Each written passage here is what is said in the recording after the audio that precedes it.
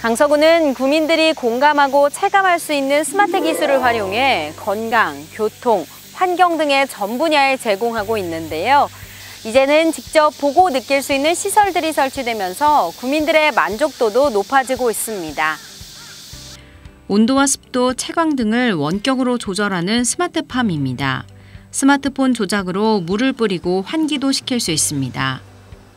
어, 스마트팜은 우리 농업을 기반으로 해서 농업에 ICT 기술을 접목하여 농업을 하는 것을 우리가 스마트팜, 스마트 농장이라고 하고 있습니다.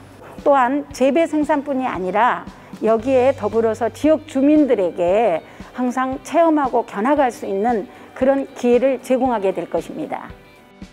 서울시와 농촌진흥청이 함께 선보인 스마트팜이 마곡광장 유휴 공간에 지어졌습니다. 스마트팜은 구민들이 직접 재배하는 체험을 할 수 있는 실내 온실로 도시의 작은 식물원 역할을 수행하고 있습니다.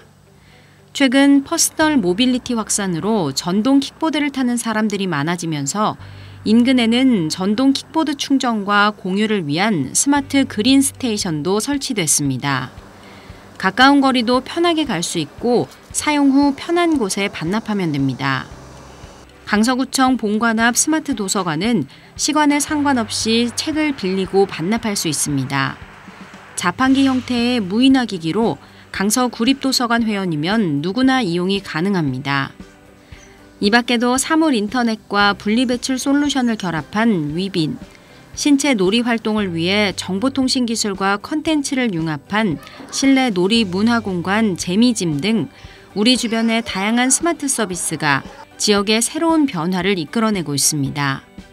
4차 산업혁명 시대 강서구는 기존 도시 인프라와 첨단 기술을 접목한 스마트 시스템 개발에 더욱 총력을 기울여 나갈 계획입니다.